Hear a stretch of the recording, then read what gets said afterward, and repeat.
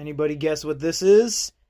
It's the CZUR book scanner, and we are ready to go for the review video coming up soon.